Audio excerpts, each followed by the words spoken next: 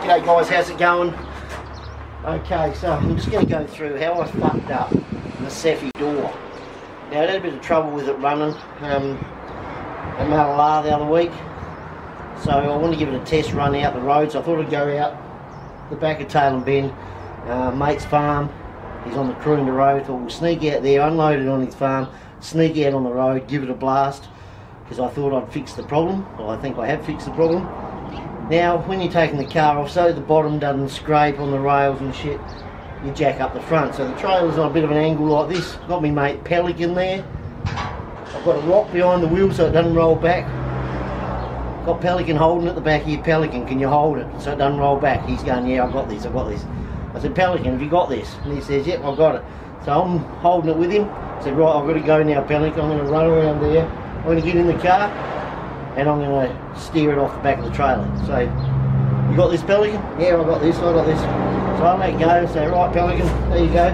Now, Pelican didn't have it. As I come around, Pelican I haven't got it, I haven't got it. And it's rolled across the little rock I had there to help him. It starts rolling back. So I'm going flying up here. I open the door, get in there, jump in there to hit the brake. I miss the brake, it's still rolling back.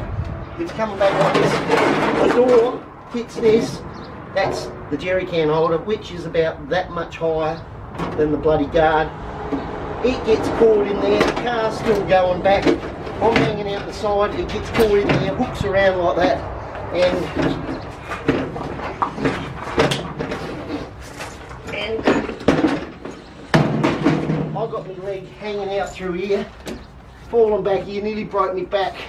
Pelican, Pelican's just standing there laughing. Car's gone flying back and uh, fucked me door up. So yeah, wasn't uh, all that uh, happy with Pelican.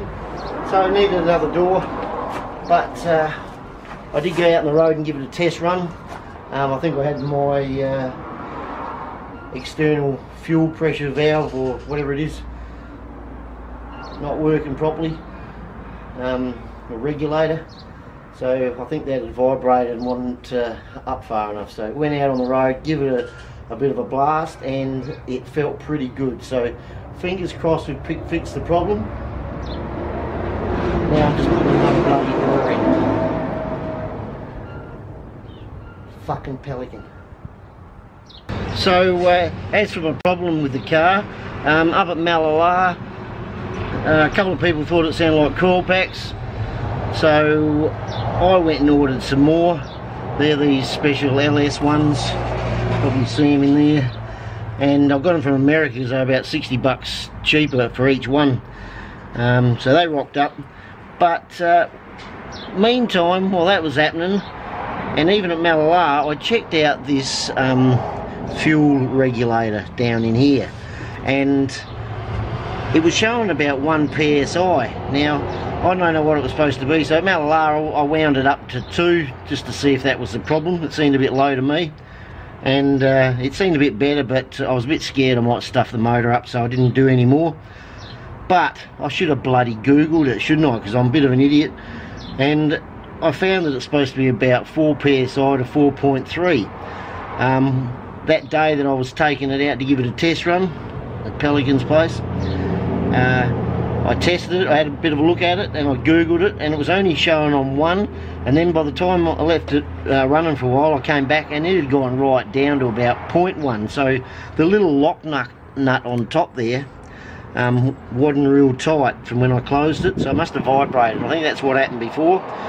So before I went out to Pelican's place I uh, wound it up to 4 I think 4 um, took the vacuum hose off because that's what it told me to do adjusted it and uh, took a bit to get it pretty tight.